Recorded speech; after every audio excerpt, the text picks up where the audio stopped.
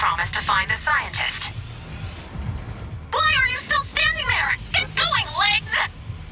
We're going, but listen, Amy, I need your very useful databases to focus on the bigger picture here, okay?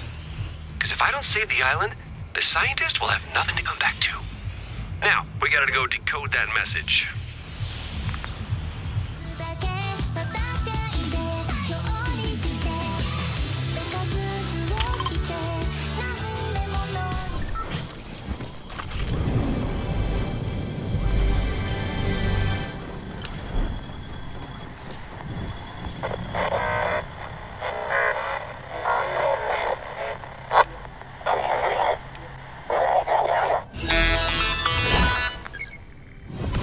Survivors, this is Paradigm.